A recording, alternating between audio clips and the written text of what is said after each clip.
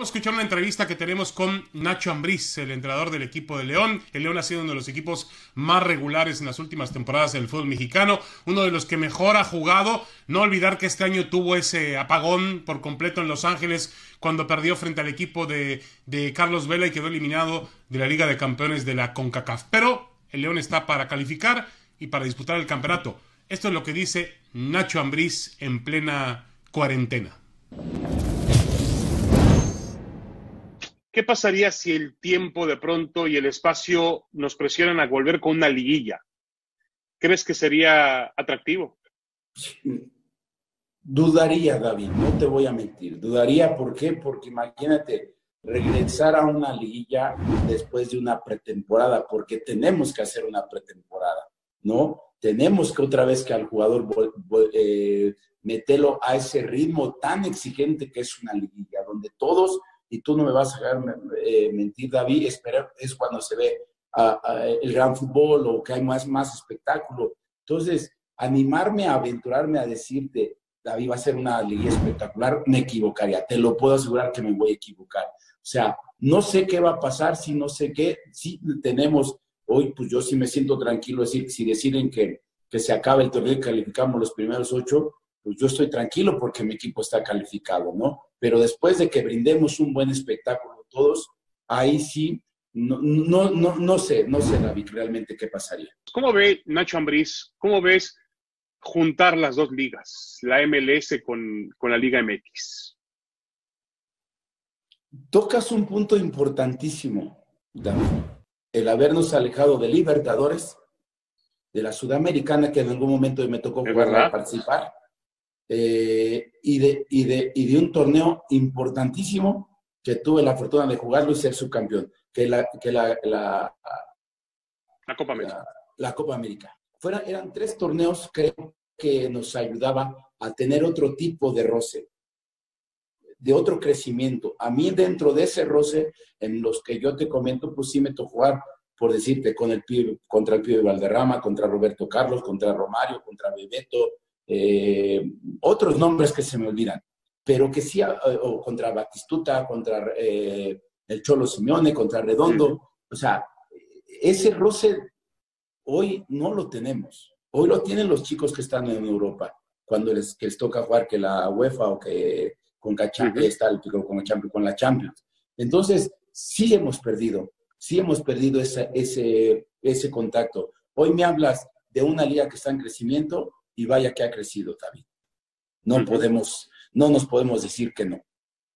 Hay unas bases sólidas, eh, eh, van respetando proyectos, sabe, saben lo que, lo, que han venido buscando, no de ahora que hoy están llegando toda esta gente importante y entrenadores. Desde tiempo atrás, David, si tú no me dejas mentir, nos lo venían marcando.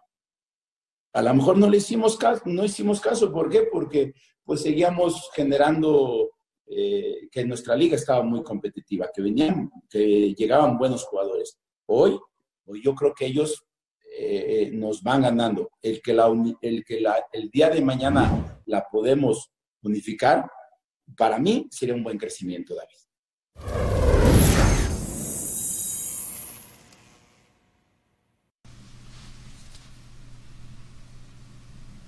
Bueno, ahí están las palabras de Nacho Ambriz, exjugador de selección, entrenador que ha tenido eh, facetas importantes en los últimos em, tiempos con el América, dirigió también a las Chivas, Nacho Ambriz, y también, por supuesto, el trabajo que tuvo junto a Javier Aguirre eh, mientras fue su auxiliar en el fútbol de España, incluyendo al Atlético de Madrid.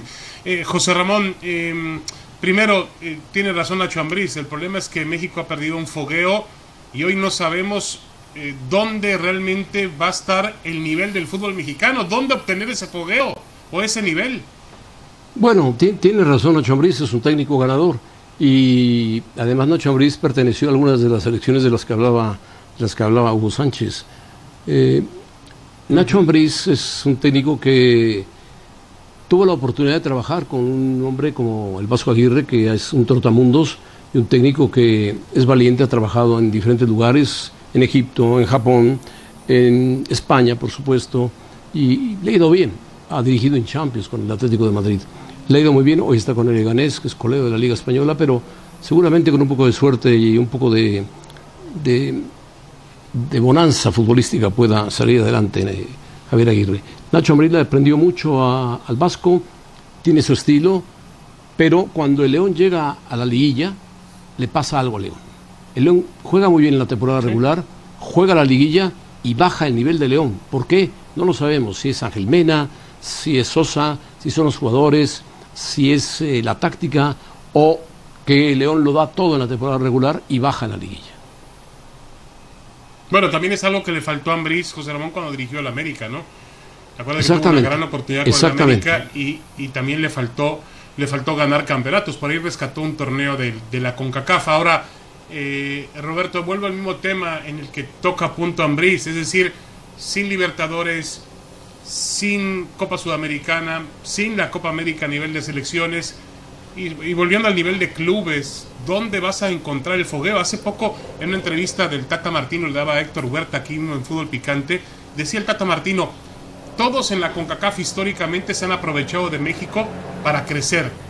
Y México, preguntaba el Tata Martino, ¿de quién se va a valer para también crecer? Yo creo que es un problema, Roberto.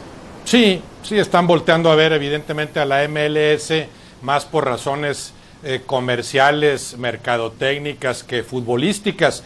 Yo creo que bajo las actuales circunstancias la realidad del fútbol mexicano se va a ver cada cuatro años, o sea, cada cuatro años te vas a topar más que nunca con la realidad de tu fútbol en Copa del Mundo, porque ya ni siquiera en partidos amistosos cuentas con sinodales más o menos confiables. Sí, y este equipo también, Roberto, de León, acuérdate que hace dos, dos meses tuvo un, un choque de frente catastrófico en aquella caída frente al equipo de Los Ángeles de Carlos Vela que le significó la eliminación de la Liga de Campeones de CONCACAF. Bueno, perdió 3-0. Perdió 3-0 Los Ángeles. 3-0 Los Ángeles perdió. Sí, de acuerdo, de acuerdo. Em, Hugo, hablaba también Nacho Ambriz en otra parte de la entrevista que esta decisión de eh, acabar con el ascenso y el descenso podría motivar que, y seguramente va a motivar que él tenga que sacar más jugadores jóvenes mexicanos al campo de juego. Además viene un descenso fundamental en las nóminas de todos los equipos. Van a bajar los sueldos. No más sueldos en dólares, serán en pesos los sueldos, como hay que trabajar en México. Se trabaja en México, se gana en pesos mexicanos. Y además van a bajar los sueldos, van a bajar la cantidad de extranjeros es una buena oportunidad para que el futbolista mexicano, dentro de esta mala situación para muchos, que es abolir el descenso y el ascenso, el futbolista mexicano tenga más oportunidad, Hugo? Pues ojalá, David. Ojalá que tenga más oportunidad, pero mientras las plazas de extranjeros sean en mucha cantidad, ahí lo veo difícil.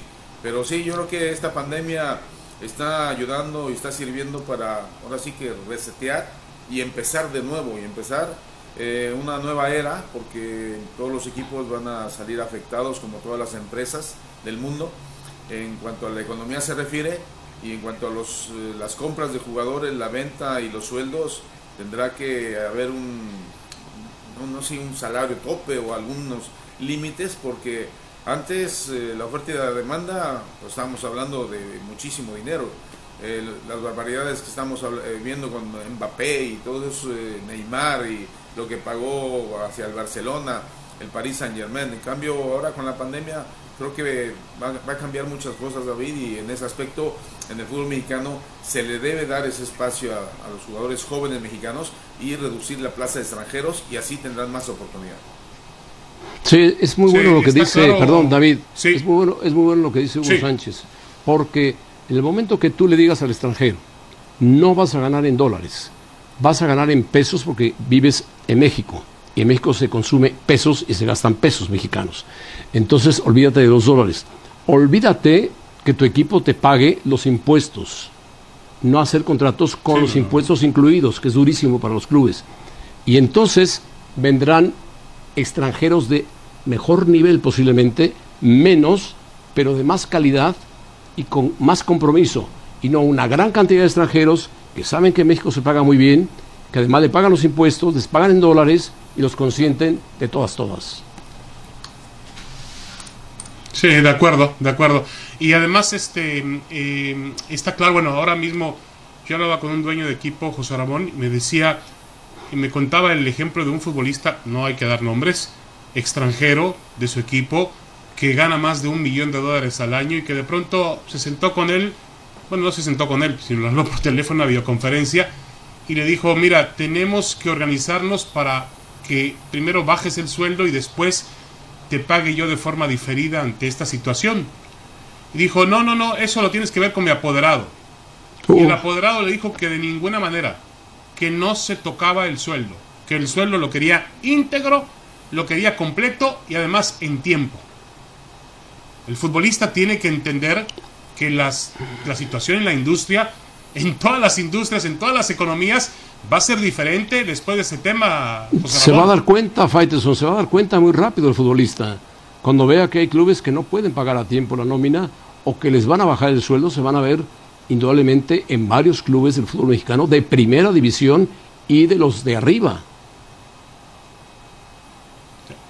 Roberto, ¿tú esperas una economía diferente, que, que, la afectación económica cambie las plantillas en el fútbol mexicano? Por ejemplo, los equipos de Monterrey, que han gastado muchísimo dinero, Rayados y Tigres en los últimos tiempos, ¿podrán mantener el mismo ritmo de, de nóminas y de, de planteles?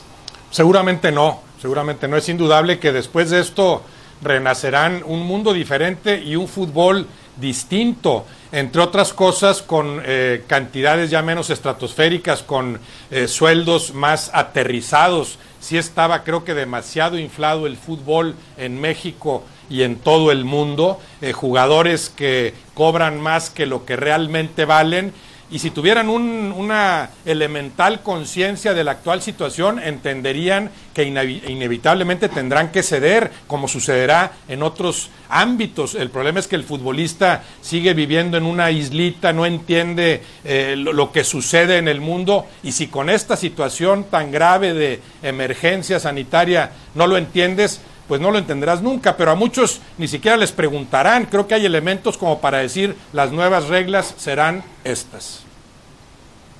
Sí, y lo que, y lo que también se, va a venir a continuación, Hugo Sánchez, y hay que tomar en cuenta que lo tiene también la Major League Soccer, estamos copiando el modelo de Major League Soccer, y un límite salarial. Hablaba Roberto de una inflación. ¿Cómo evitas la inflación? Le pones tope salarial a los equipos. No, Faitelson, y lo va a tener las ligas europeas también, ¿eh? Las ligas europeas. Yo creo que. Bueno, ya lo tienen, tienen un fair play financiero, ¿no? Tienen un otro tipo de, esquema. Por eso, pero. La pandemia va a haber un cambio en todo el mundo, ¿eh? Todo, cada país va a tener un sistema para reajustar por eh, pues el, el perjuicio económico que están teniendo todos los equipos, sobre todo, y las empresas, claro. Por supuesto, imagínate el City que tiene un castigo por dos años por la cuestión del play, play, play financiero, fair play financiero. Imagínate, dos años de castigo. Una pausa y regresamos a Fútbol Picante desde casa.